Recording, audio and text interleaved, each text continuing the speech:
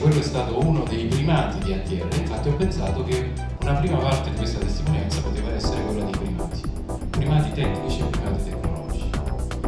Il primo che mi è venuto è proprio questo. Purtroppo, ahimè, non per nostra scelta, eh, ATR è stato il pioniere nelle operazioni e nei nuovi regolamenti di certificazione, la famosa 15O, e io stesso ho partecipato a gruppi di lavoro negli Stati Uniti con la FAA, l'NTSB e la NASA per stendere questi nuovi requisiti, nuovi requisiti di che? Non certo delle operazioni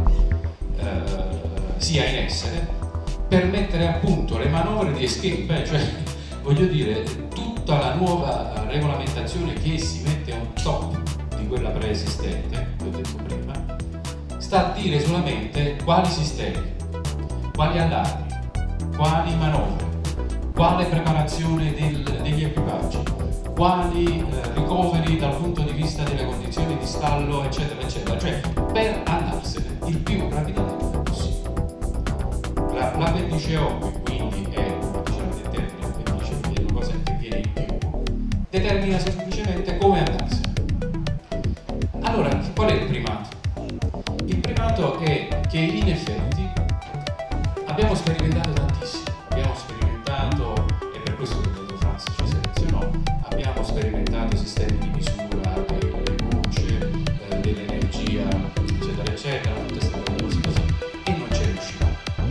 Non ci riuscivamo, eh, fra le altre cose, vi posso anche dire che la TR fu uno dei primi ad avere un sistema che misurasse l'accrescimento di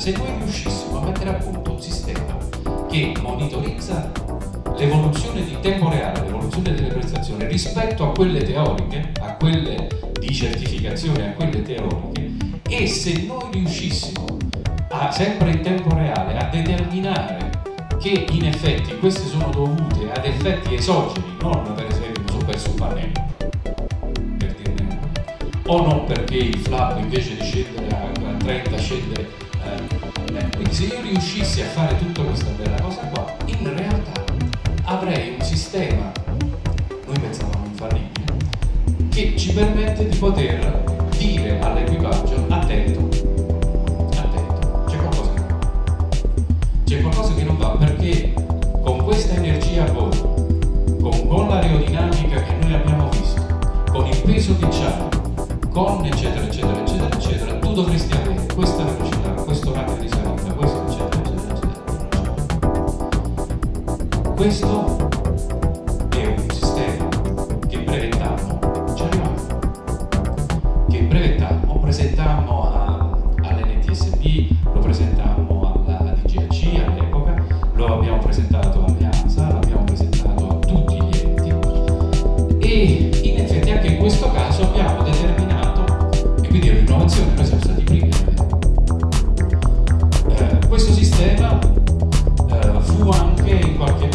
è stato provato sulla 400 eh.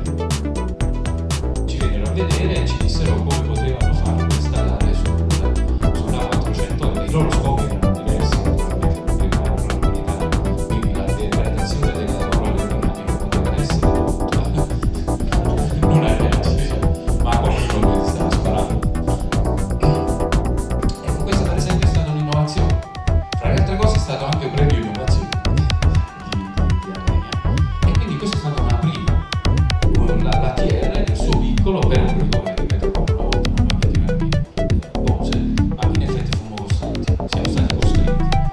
Antigo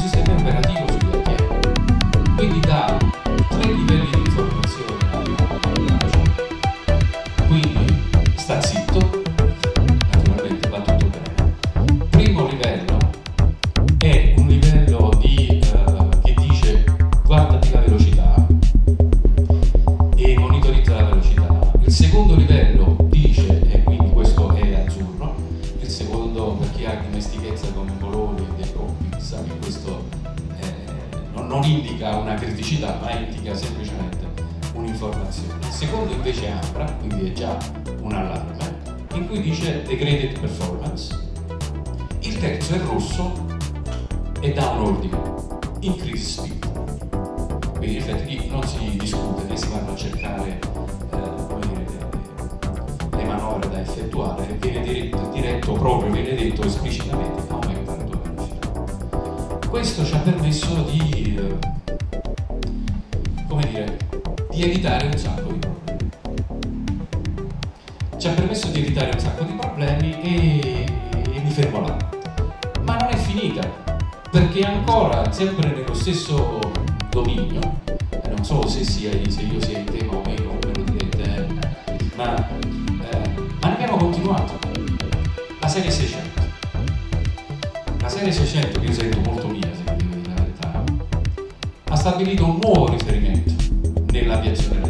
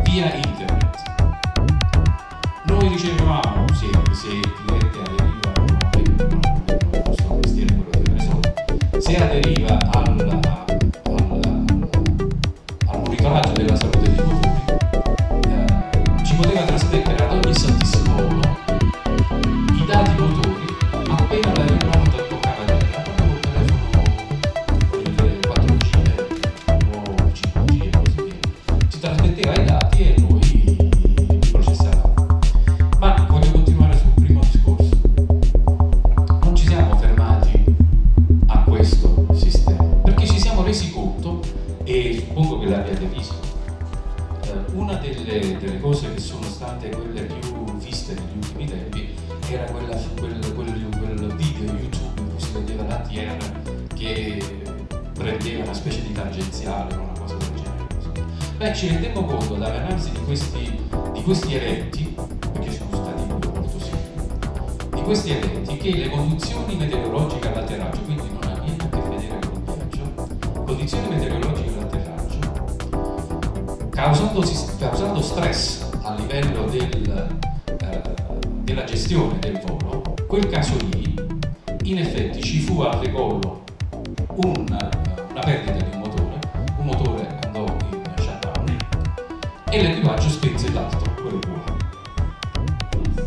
Che, che in effetti ci, ci rendemmo conto che e questo, questo nonostante tutto quanto, se volete, gli allarmi, avvisi, tutte queste cose così, eh, nonostante che il copilota eh, si fosse perfettamente reso conto che, che il comandante, quindi una persona sperimentatissima,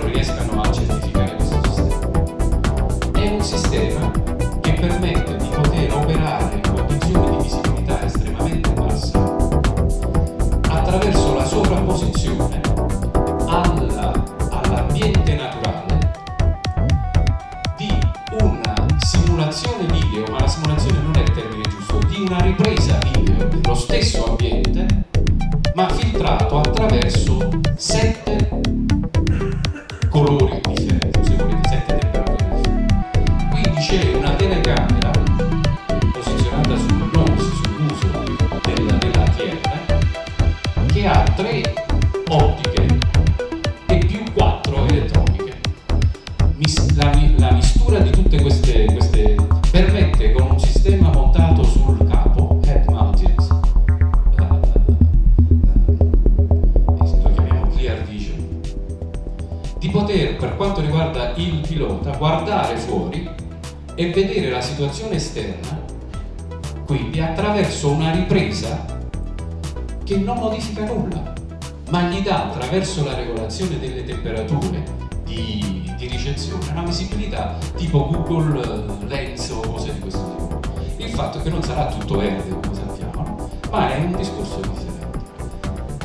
Non solo, ma la synthetic vision si so- può sovrapporsi a questo sistema e il sistema e il cockpit cambierà perché sarà con tanti di quei sensori che seguiranno la testa del, del pilota. Quindi se il pilota si gira per esempio sulla sinistra non vedrà più quello che vedeva prima, ma vede semplicemente quello che si vede a sinistra. Per rivedere deve rimettersi lì e guardare dove vuole. Se abbassa la testa è per guardare il suo leadership, per guardare sua, il suo cockpit, il suo cruscotto, ecco, non mi viene a termine. Ed è tutto questo. Quindi vedete anche questa è ce ne sono altri sistemi. C'è, c'è un sistema che si chiama HUD, Head Up Display, cioè del display per il pilotaggio a testa alta, su cui queste stesse informazioni si possono, si possono, si potrebbero naturalmente mettere. Abbiamo cominciato a sviluppare questo qua insieme adesso. Spero che quest'anno questo qua sarà. Ed è stato molto molto emozionante, fare il primo atterraggio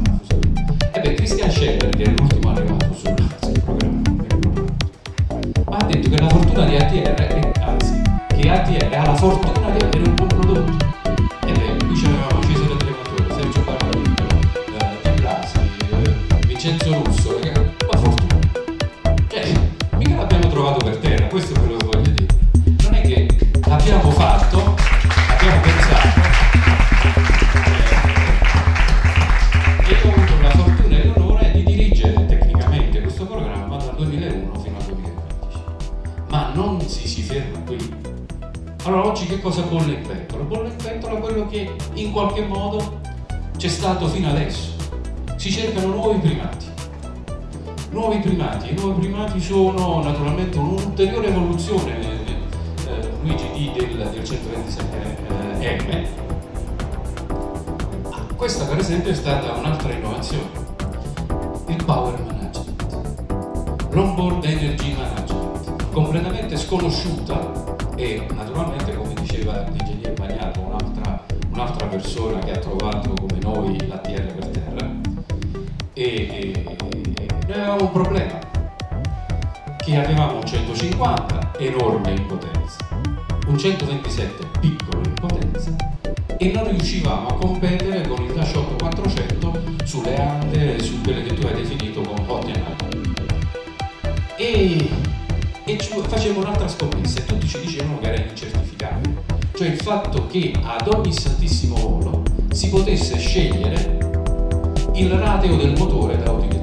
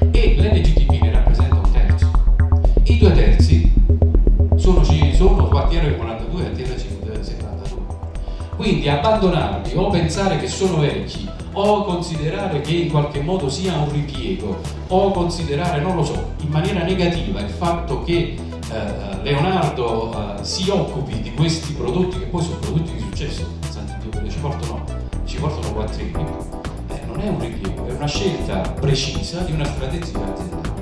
Poi lasciatemi dire, dell'NGTP non ve ne parlo, perché ne avete parlato voi, quindi facile, però voglio fare un'altra riflessione che probabilmente vi aiuterà a capire. Anche. Il regionale è cambiato, qualcuno l'ha detto, eravamo prima tantissime, c'era, ATR, c'era Fokker, c'era Saab, c'era Dornini, c'era Farchild e, e alla via così. Dopodiché ATR e Aviland sono rimasti da soli. L'asse si è spostato, diciamo 75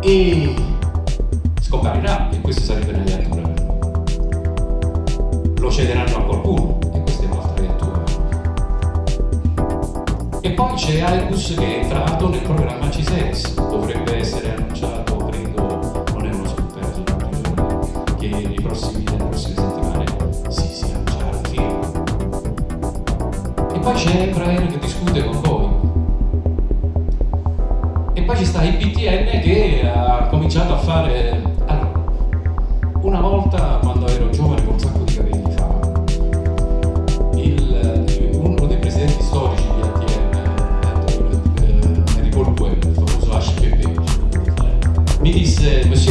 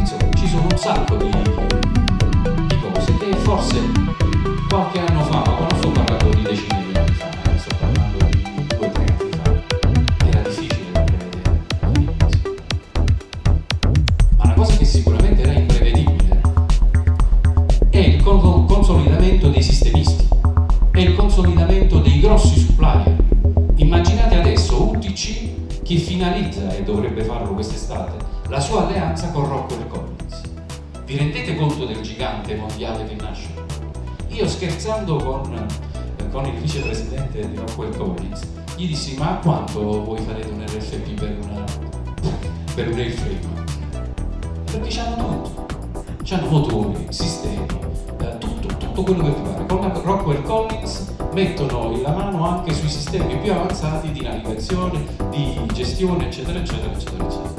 Quindi la UTC Collins, non so come si chiamerà, lo sapremo, ma insomma questo conglomerato ha tutto tranne la cella. Tutto, c'è tutto. Sono nuovi, G, General Electric, acquisizione aspita tutto spiano sulla parte sistemistica, in particolare per esempio per quanto riguarda la parte eh, di elettrificazione della produzione o comunque degli nuovi sistemi Safran si è alleata con Boeing per il mondo delle APU. Insomma, no, non fate fare la lista, avete capito quello che sto dire. Quindi è importante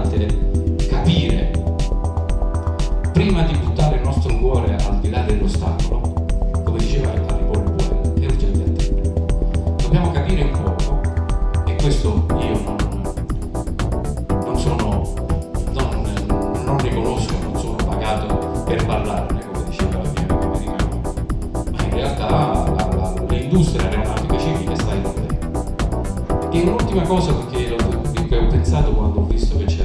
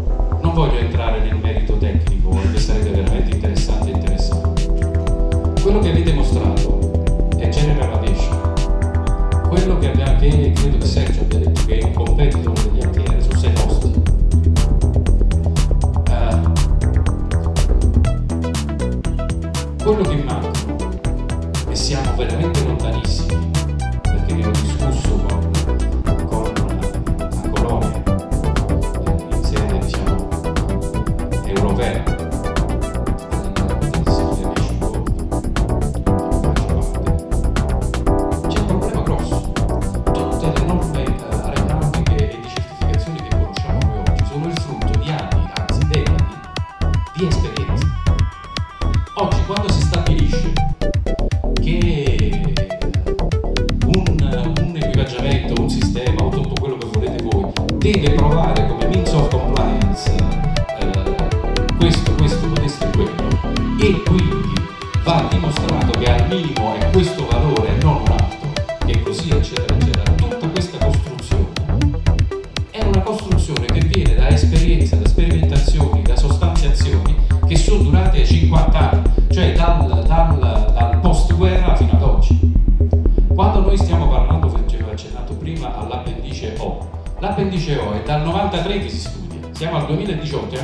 uscita. Eh, Ancorché oggi tutti, tutti naturalmente che disegnano l'aeroplano o che progettano l'aeroplano fanno riferimento a questa ma in sacri testi non è ancora eh, inserito. E allora mi diceva sì, chiudo, chiudo, chiudo. Quindi in effetti diciamo che il modo, il mio messaggio che volevo darvi è questo, non parlo più di ATR, ma ATR ha innovato, ATR deve continuare ad innovare, rimanendo nella sua eh, situazione, come dire, nel suo campo fondamentale e guardare al futuro. Il futuro è aperto. C'è qualche nube, ma non c'è niente che è al di fuori dalle nostre possibilità. Questo è quello che. Non c'è- No, ringraziamo l'ingegnere Russi e anche per aver ricordato l'ingegner Bagnato